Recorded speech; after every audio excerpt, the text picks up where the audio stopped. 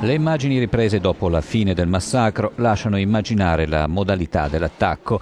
Abbiamo scelto di risparmiarvi le immagini più scioccanti, qui potete vedere però la quantità di colpi sui muri e anche segni di alcune esplosioni.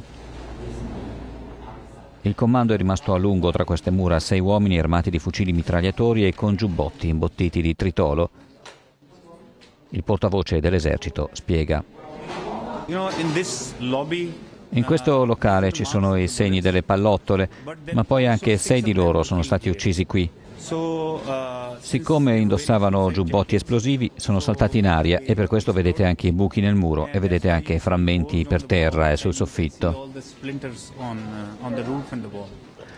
Nell'auditorium si è registrato il maggior numero di vittime, è il locale più vicino all'ingresso e al momento dell'incursione vi si teneva una lezione di pronto soccorso a classi unificate. کرنا تھا۔